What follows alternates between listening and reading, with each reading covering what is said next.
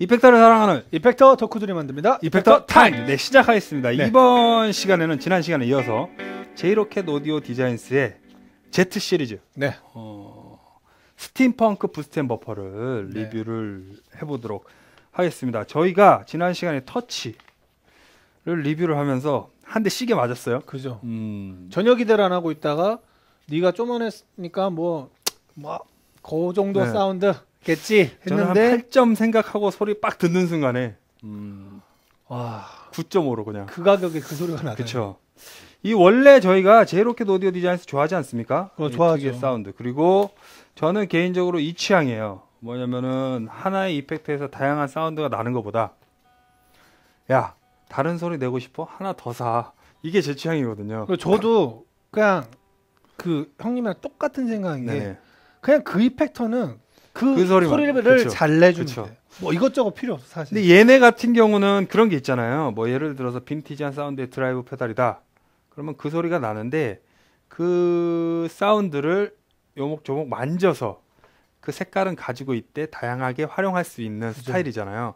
근데 반면에 예를 들어서 뭐 오버드라이브부터 fuzz까지 하나에 딱 담고 잘 만드는 회사들이 별로 없거든요.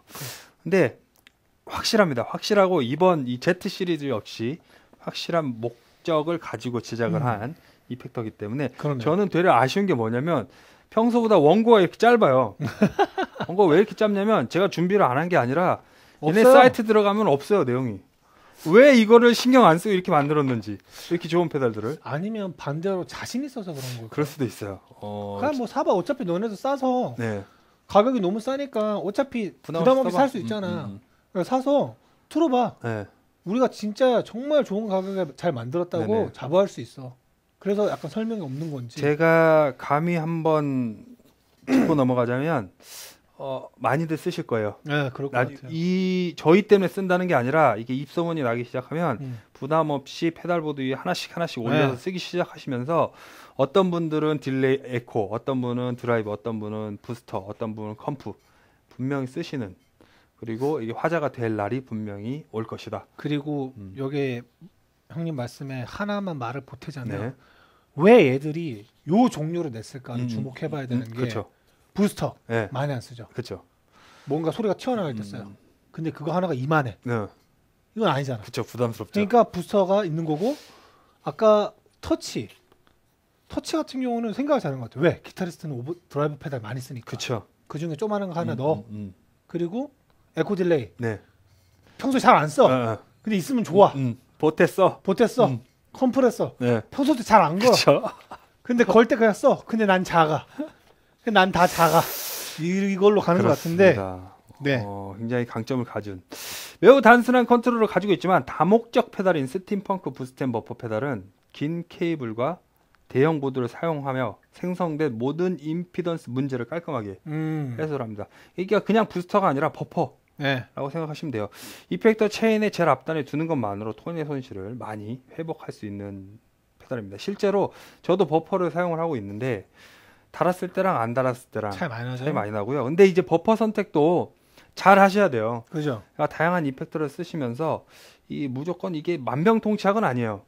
근데 저 같은 경우는 어, JHS에서 나온 버퍼를 쓰는데 여, 다양한 버퍼를 테스트를 해보고 가장 궁합이 잘 맞는 그렇죠. 버퍼를 선택을 한 거거든요. 근데 거기 보면은 그것도 사이즈가 한 요만한데 그냥 버퍼 기능만 있는 거예요. 그죠. 그러니까 일종의 이제 케이블 같은 거죠. 앞단에다 이렇게 꽂아주는. 근데 이 친구 같은 경우는 부스터까지 달려 있어요. 음. 그러면은 이 가격에 그죠. 버퍼 가격이거든요. 버퍼 가격에 부스터까지 얻어갈 수 있는 거죠. 그죠. 그리고이 가격에 웬만한 부스터 못 사요. 근데 거기다 버퍼가 달려 있는 거죠. boost의 경우에는 앰프나 이펙터 사운드 20데시벨 up을 제공을 네. 하고요. 솔로 연주 시 더욱 힘있고 강력한 사운드로 완성할 수 그죠. 있다라고 합니다. 그것 때문에 쓰는 거죠. 네, 컨트롤 부 간단하니까 없죠. 네, 리뷰를 해보도록 할게요. 전원 9V DC 어댑터로 전원을 공급을 하고요. 네. 한 개의 인풋과 한 개의 아웃풋을 제공을 합니다. 보시면은 아웃풋 노브가 있는데요. boost의 볼륨량을 그렇죠. 조절합니다. 일단 clean 사운드부터 먼저 네. 들어볼게요.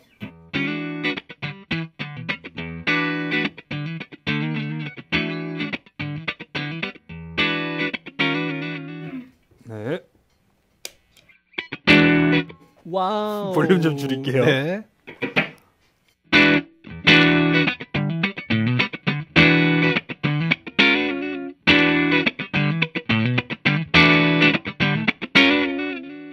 댐핑도 좋아지네요. 부스터 이 껐다 켰다 한번? 해주시면 좋을 것 같아요.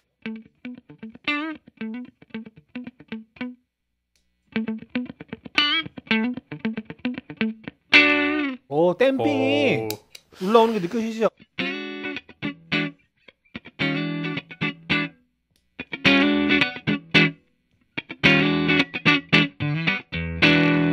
단순히 지금 여러분들 들어보시면 아시겠지만 볼륨만 커지는 게 아니라 그 middle range가 그죠 음.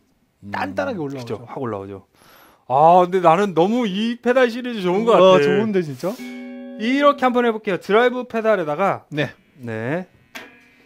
뭐 하는 김에 다 걸어볼게요. 네.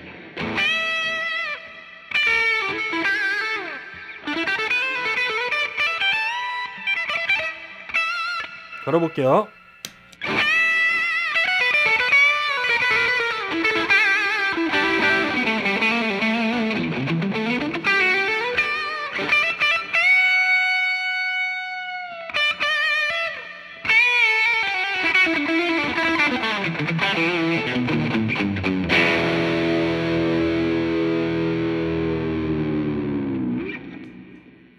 얘는 살아나네. 살아나네. 소리가. 좋습니다. 왜냐면 이 저희가 지금 보여드릴 수는 없는데 밑에 pedalboard 몇 개죠? 하나, 둘, 셋, 넷, 다, 여, 일곱, 여덟 개, 여덟 개의 페달이 올라가 있어요. 네, 올라가 있는 상태에서 어, 이런 사운드가 연출이 되고 있습니다. 그러네요. 한 번만 더 해볼까요? 네. 그냥 그냥 아, 아, 일단 끄고 한번 해볼게요. 네.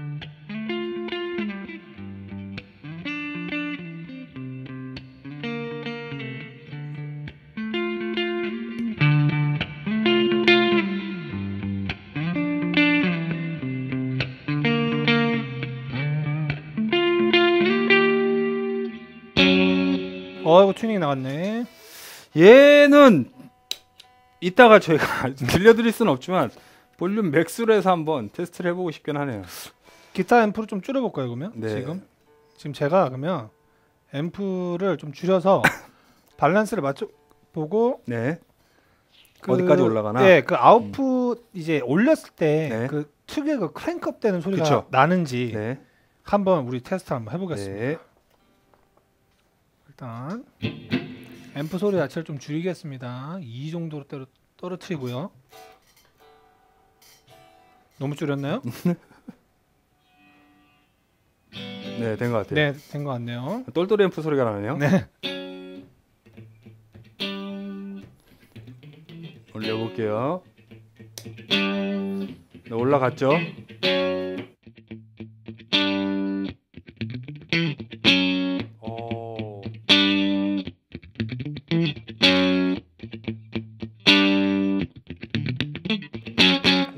좋다.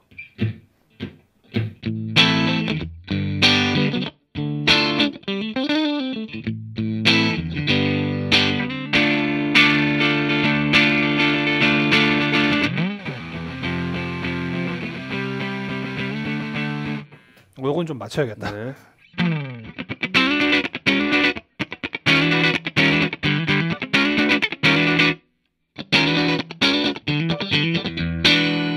같은 거 한번 끄고 쳐볼까요? 이런 상황입니다. 이런 상황입니다. 어 근데 소리를 해치지 않고 네. 자연스럽게 부스팅 해주는 게 너무 매력.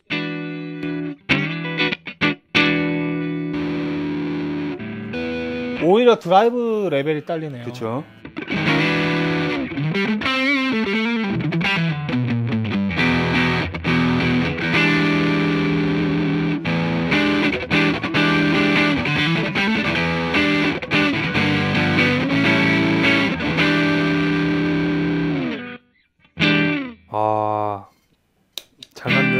잘 만든 이펙터입니다. 이제 은총 씨께서 스팀펑크 부스템 버퍼를 이용을 해서 사운드를 들려주실 겁니다. 네. 사운드를 들어보시고 얘기를 이어나가 보도록 하겠습니다.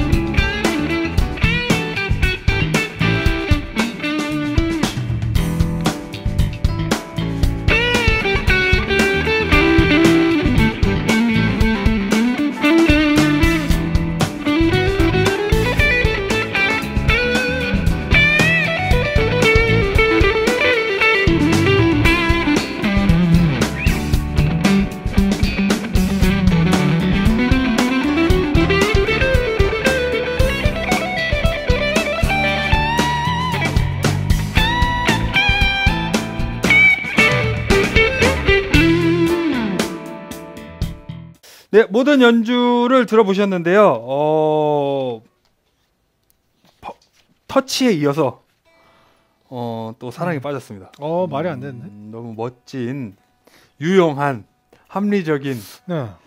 모든 긍정적인 수식어가 다 어울리는 이게 그러니까 어. 자신의 역할을 잘하는 것 같아요. 그러니까 볼륨 부스터로서도 역할이 좋고 네.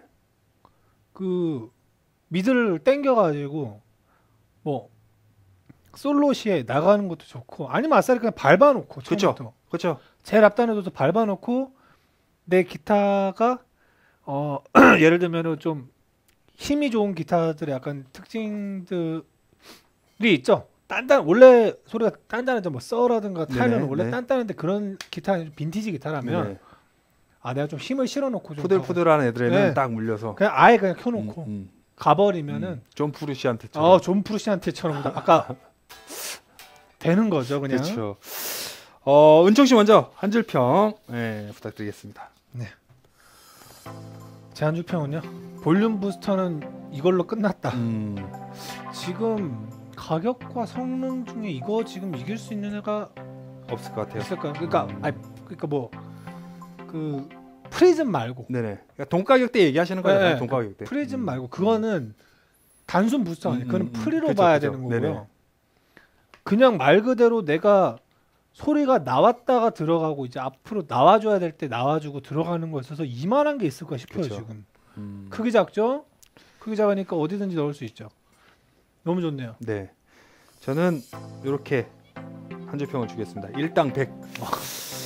이 말이 필요 없는 것 같아요. 가장 이상적인 음. boost and buffer의 가장 이상적인 외관인 것 같고요. 기능인 것 같고 모든 걸 다 갖췄다라고 생각을 합니다. 어, 정말 기분 좋은. 네. 저는 솔직히 우려했거든요. 이 제이로켓 오디오 디자인스를 좋아하는데 얘네가 이렇게 왜 이렇게 가지 했었는데 약간 좀 모험하는 것 같은데 이랬는데. 오늘 기쌈배기를 그냥 시계 맞고 가네. 네, 네. 점수 한번 예 드리도록 네. 할게요.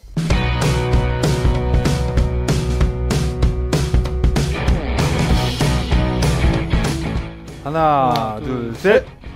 9.5, 9.0. 네, 네. 맞습니다. 네, 높은 점수를 받아갑니다. 높습니다. 저희가 은총 씨랑 저랑 우리 이 임모탈 할 때만 해도 은총 씨가 그 얘기했거든요. 이제 앞으로는 9점 함부로 안 주겠다고. 근데 벌써 예, 두 편에 걸쳐서 9점대를 기록을 하고 네. 있습니다. 왜냐하면 이건 가격이 좋고요. 성능 훌륭하기 때문에 충분히 네. 9점대 줘야 된다고 저 생각합니다. 감히 얘기합니다. 사셔도 절대 후회 안 하세요. 네. 이거는 100%입니다. 네. 예, 구입하시길 진짜로 적극 권장하는 네. 어, 오랜만에 나온 이펙트라고. Z 시리즈들 아주 좋네요, 아주. 다음 시간이 마지막입니다. 예, 네. Z 시리즈에서 나오는 comp를 다뤄볼 텐데요. 그때도 많은 기대를 부탁드리면서 오늘 마무리를 줘야 될 것 같습니다. 네. 이펙터를 사랑하는 이펙터 덕후들이 만듭니다. 이펙터, 이펙터 타임. 타임즈. 네, 다음 시간에 뵙겠습니다. 감사합니다.